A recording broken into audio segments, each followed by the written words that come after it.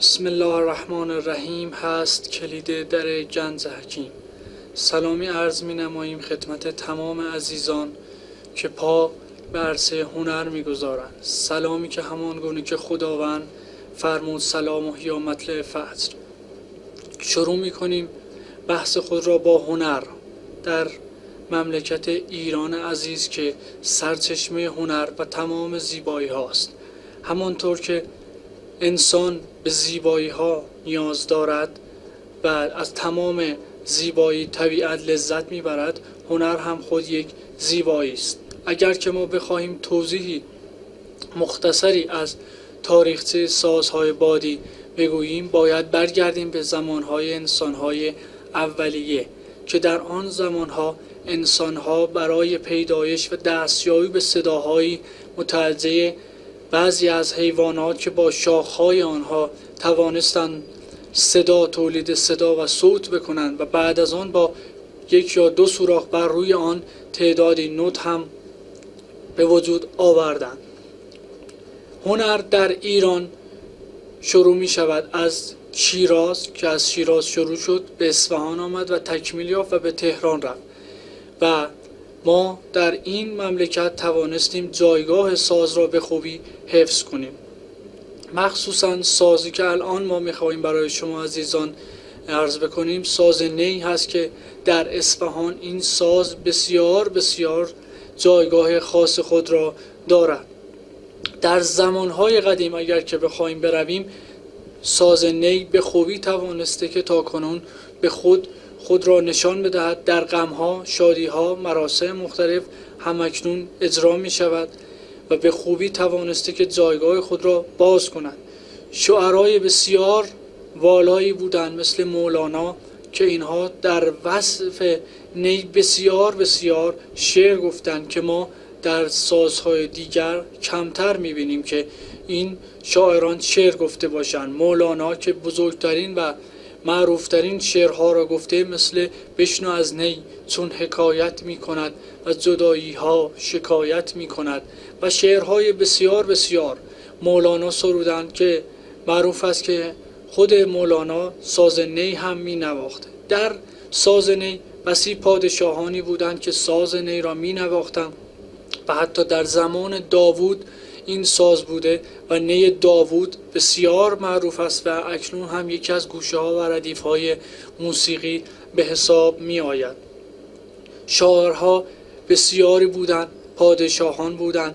که این ساز را نواختن و تاریخچه بسیار و دورانی شیرین حکایت های جالب از این ساز به جای مانده است. بعد از آن ما به اصفهان که سرچشمه هنر بوده و در این ساز بسیاری از اساتیدی چون سلیمان اصفهانی نایب الله عبدالخالق اصفهانی مهدی نوایی و در آخر استاد کسایی را داشته ایم که از این عزیزان به نایب الله اشاره می کنیم که نوازنده بسیار چیر دست بوده که متاسفانه تعداد کمی از کارهای اون بر جای مانده. همچنان که در سرگذشت روح خالقی می‌خوانیم که وقتی که ساز استاد را معرفی می کند درویش خان و دیگر اساتید که با او روبرو شدن و ابتدا اون را نمی‌دونستند که ساز اون در چقدر توانایی نواختن دارد بعد از گوش دادن با خود آن را هماهنگ کردند و در ارکس خود از استاد نایب الله استفاده می کردند بعد از آن و در این اواخر استاد بسیار بزرگی در نی پدیدار آمد به نام استاد حسن کسایی. استاد حسن کسایی خدمت بسیار بزرگی به ساز نی کرد که همکنون کاست ها و کارهای جالب آهنگ های زیبایی از اون استاد بر جای مانده است که تعدادی از آهنگ ها نوت شده کاست های بسیاری از استاد بر جای مانده است. استاد توانست که صدای ساز را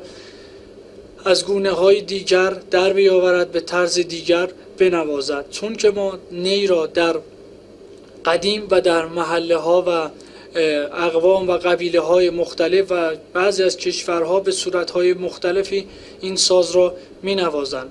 بعضی ها با لب بعضی ها با دندان بعضی ها مثل چوپان ها و کلا صدای ساز در بعضی از کشورها و جایگاه فرق می‌کنه تفاوت دارد با اصفهان. ولی در اصفهان استاد کسایی ساز را با گذاشتن زیر دندان و طرز خاص آن و طرز صحیح در آوردن صداهای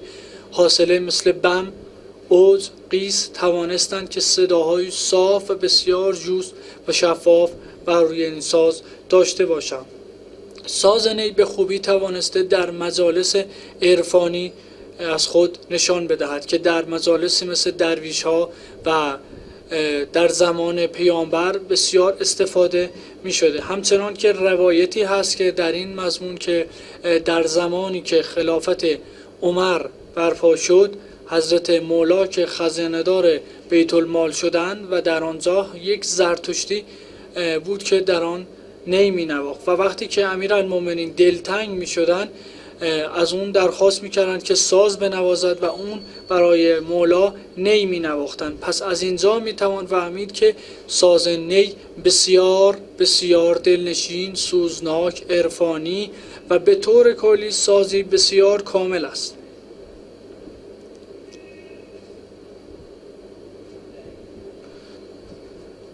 دوستان بعد نیست در ادامه کار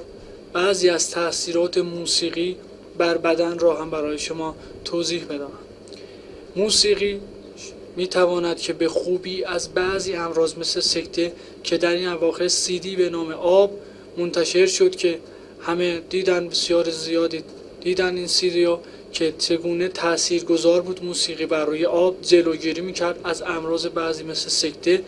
بیماری روانی و همکنون هم بعضی از دوستان عزیزان هنرمندان می توانند که با موسیقی اشخاصی را که ناراحتی های خاصی دارند را درمان بکنند. همانطور که ابو علی سینا این ساز را برای